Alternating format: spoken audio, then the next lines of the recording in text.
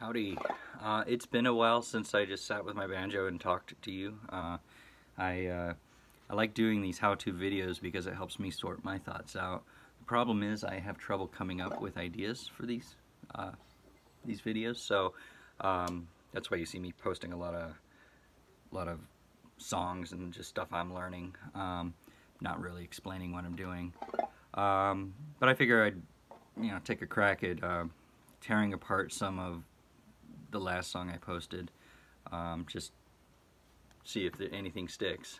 Um, so the last song I, I did, it, it's a little out of my singing range, but it was a fun song to learn. It's uh, Joe Pug's I Do My Father's Drugs. And uh, Joe Pug is this kind of um, singer-songwriter, really powerful songwriting from a few years ago. He's still touring. Uh, if you get a chance, check him out. Uh, but this song I kind of liked because it's, it's sort of a um, not so much an anti-protest song, but a kind of a criticism that you know the next generation is still having to have these protests that have become somewhat cliche over the same issues from the previous generation.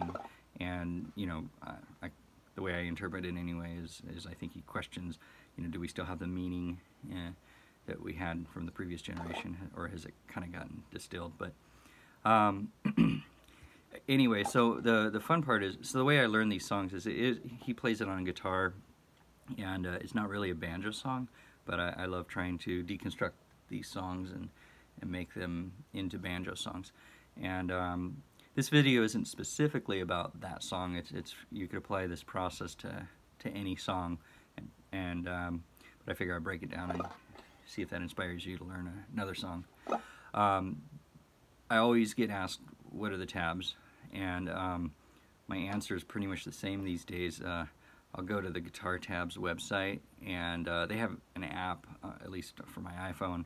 You can download it and um, like I'll print it out and it's just uh, it's just the lyrics with the chords on top of it and that's it. You'll notice I made some adjustments, um, see some scribbling out because I wanted the I like to put the chord right over the change. So for me, it's uh, you know I like to know on what accent of what word I'm switching to the G or to the C. This is a really kind of easy song to play, maybe harder song to sing because it goes from a low to high high pitch, but uh, um, I'm, I'm going to try to focus on that little little lick that I do. I kind of made it made it up because it doesn't match what the actual recording is. Um, but uh, I'll kind of go through the first verse just so you can see what the basic chords are, and then you can see where I decided to derive my little banjo lick that I'm playing. Um, the song is in the key of G, so it's perfect for banjo, open tuning. And the chords are pretty much your G chord, and you got a C chord, an E minor chord, and uh, there's a D in there. So it's it's very accessible. Um, so I'll, I'll kind of see if I can sing through the first part. What I'll do is um, I'll just strum the chord one time without any kind of uh, right hand technique. When the party starts on Monday and Christmas starts in June, when no one minds I've just arrived and I'll be leaving soon. If I return with eyes half open, don't ask me where I was. I do my father's drugs. And it's kind of pretty melody, I think. Um, and then I've made some videos before um, about how I kind of fill that in. So I'm not like picking out individual notes deliberately. Um, what I do is uh, I'll do I'll start with the basic frailing strum, and um, that's the, the the claw hammer technique where you're just kind of striking strum thumb. One, two, and three, four, and and it's just a pattern that's very accessible. There, has been tons of other videos that break that part of it down. Um, but if you go fast, it kind of sounds like...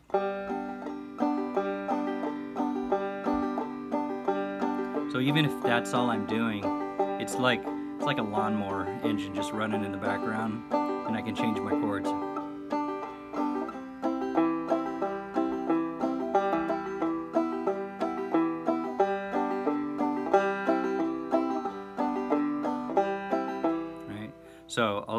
Apply that to the song. So when, well, I guess I should tell you what the chords are. When the party, that's a G. When the party starts on Monday. And then we go to C. Christmas starts in June. And then we go to E minor, which is easy because you're just lifting up that one finger. When no one minds I've just arrived. And then you lift off for the G.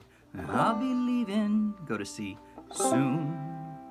If I, and then G, if I return with eyes half, and go to C, open.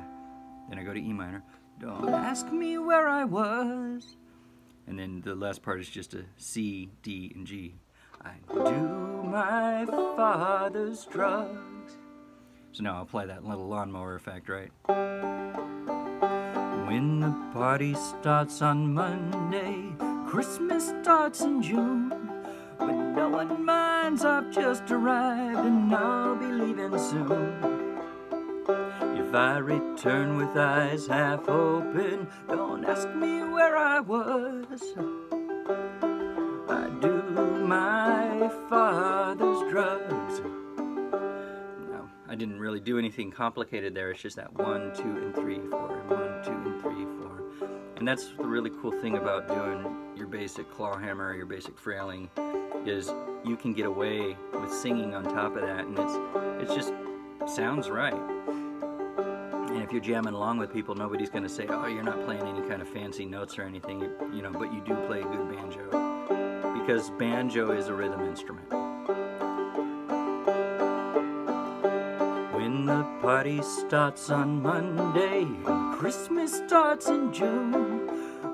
One minds, I've just arrived and I'll be leaving soon. If I return with eyes half open, don't ask me where I was. I do my father's drugs. Now, it, it took a lot for me not to sprinkle in some left-handed dynamics, but you, you notice I, I squeezed a few in there, the little hammer on. So, um, it kind of adds a little pepper if you if you just break those those little quarter notes in half. So so you can then build up from that.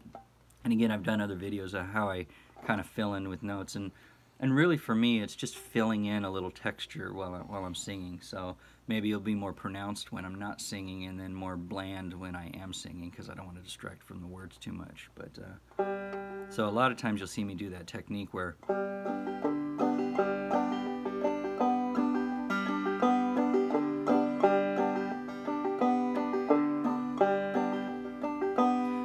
video where I, I, talk specifically about that technique, but what I'm doing there is I'm kind of alternating the basic frailing strum, the one, two, and three, four, and, and then I'll come in with a uh, drop thumb, and I'll go, so, alright, so it's one,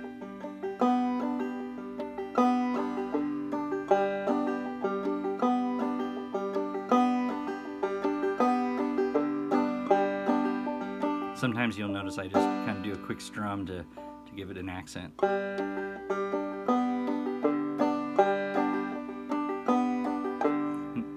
And again, I'm, I'm trying to focus on this song with this video, but I've done some other videos where I really break that down.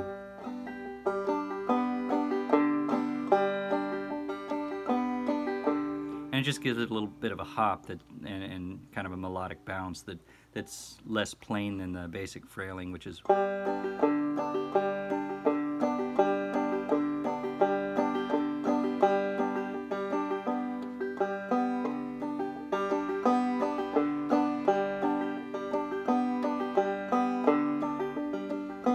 And if I'm lucky, and, and usually I can land on this while I do the song over and over while I'm practicing, is the hard part, well the fun part really, is deciding which note to strike, right? And I try to strike on the string that happens to have the same note as the melody while I'm singing it. So it's a...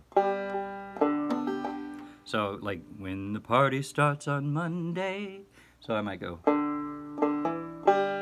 If I can find that note, then that kind of makes the banjo sound like it's more deliberate. So in that case, I'm just striking that uh, fourth string, and then I'll do a hammer on on the, that fourth string on the second fret. Resolve that by striking the third string. And then, um, and then when Christmas starts in June, so I'm holding a C there. but that vocal note, that Christmas, is a it's that first string on the second fret when I'm holding that C shape. And um, you know, a really good teacher uh, told me that you know finding the melody is not very difficult um, when you're playing a song because if you're doing the chord shapes, then then the notes in the melody really are are pretty much going to be in that chord shape or at least one finger away from there. Most of the time, it's going to be right there. So there's that Christmas starts in June, and then uh, you can go to the E minor when when no one minds. So I'm still got that high E. minds, I've just arrived, and I'll lift off for the G. G. And I'll be leaving soon. Right. so once again, I'll just kind of put that all together. A um, little bit of hammer-ons to find the melody.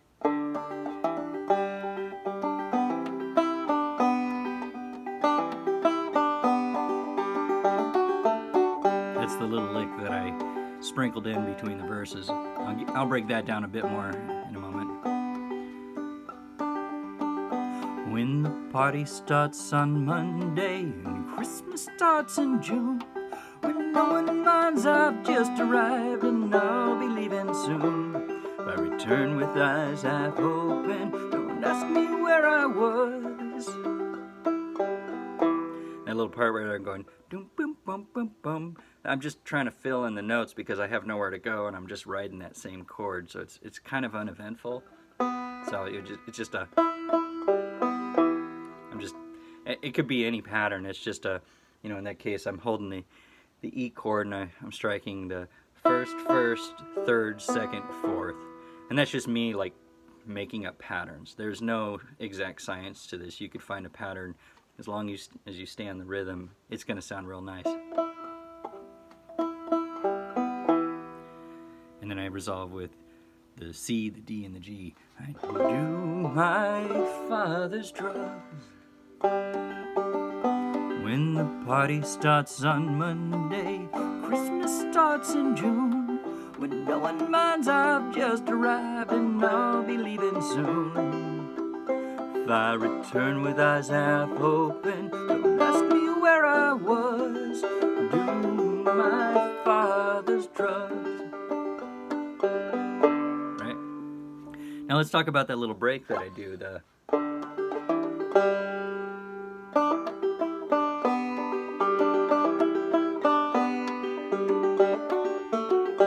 I think that's a nice little filler. Um, I kind of, I'm not mirroring the, the chords of the, the verse exactly because I kind of wanted something a little shorter. Otherwise that would be a really long break and I want to get, get right back into the energy of singing. So I just, I use the chords as a guideline. So the, the little break is really just that, starts with the G, but I'm doing that, that melody because that's kind of an identifiable part of the song. When the party starts on Monday. So I'm, and then that, that filler at the end, it's just me going, you know, just doing the drop thumb just to hold out the chord a little bit.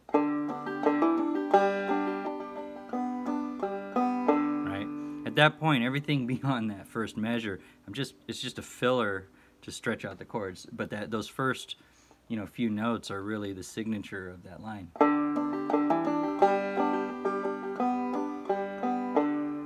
And then I go to the, uh, it goes to the C, but the C shares the same notes as the E minor. So I can do, um, I want to hit that note to get the, to infer the, the melody.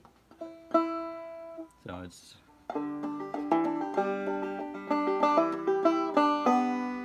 so you notice I did a little hammering. I think that's just a nice build up to that E note.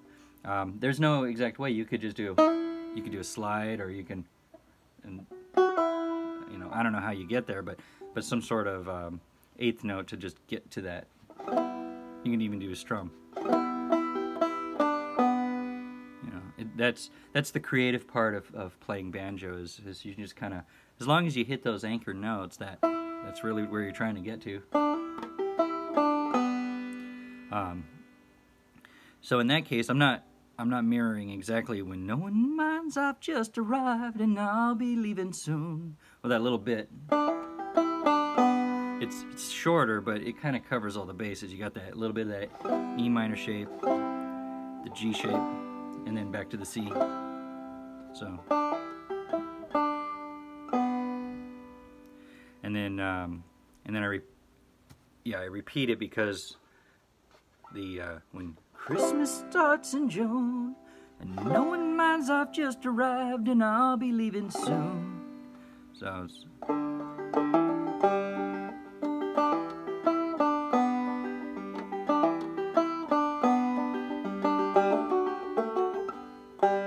Now that part where I go to the D and then back to the G, that's because um, I kind of want to skip to the end of that verse because I don't want to do the whole verse for my break.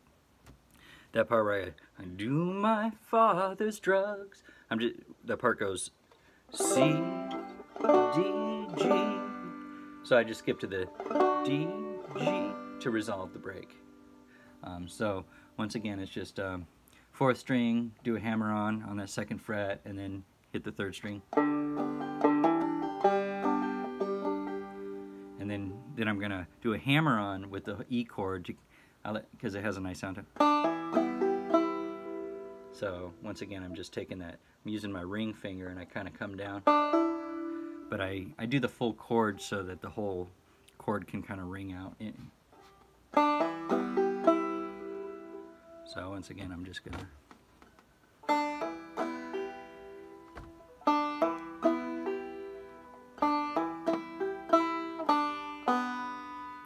And I resolve that by just hitting the two bottom strings, the one and the two. So.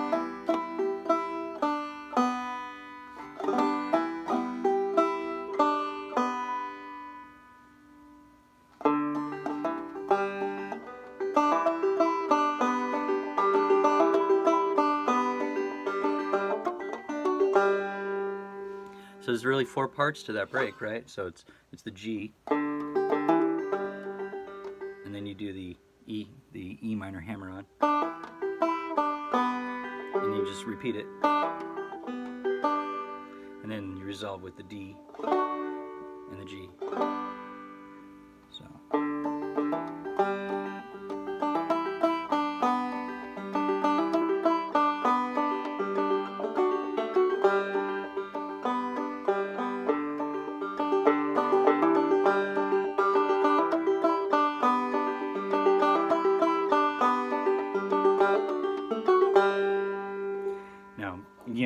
doing that D chord, you might say, what's the tabs? What are the individual notes you're hitting? I'm, I'm not particularly concerned with that. I'm just doing my little, my little basic frailing strum and then a drop thumb. It's, it's very cheap. It's, it's very, uh, it's kind of my cheater trick to fill in and make it sound more complicated than it really is. So. Like the last time I might have done the drop thumb and hit the third string, but the, the time before that I would do the drop thumb and hit the second string with my thumb. You didn't know really, you know, as long as the rhythm's there and you're in the same chord. And that's really the key here is um, there's a lot of beautiful um, songs played where, where it's like you play in the open key and you're just kind of